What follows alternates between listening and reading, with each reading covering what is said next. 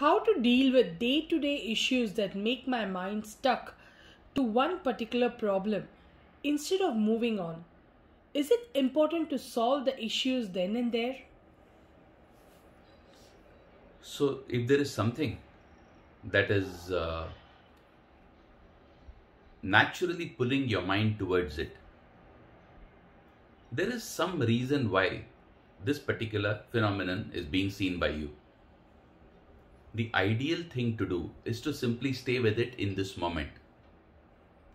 If there is a an inner impulse to go ahead and solve it in your own way, it makes sense to go ahead, solve that, be done with it completely, have the feeling of completeness in the mind, and then move on to something else.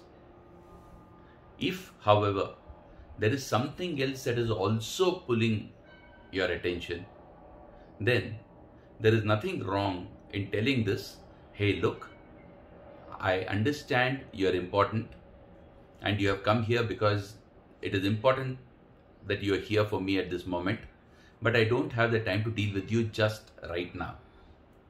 So please give me permission to move on to something else, but I will come back to you as soon as I can in order to be with you and eventually help you get sublimated.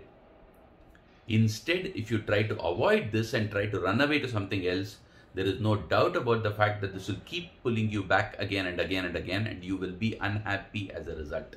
You will not be in a position to be completely at peace as long as you have not resolved that which this particular thing is actually trying to bring your attention to. So, however difficult it may be for you to deal with this, or however, mm, you know, uh, obsessive this may feel, the fact is it is there because you need to deal with it. The earlier you deal with it, the better it's going to be for you.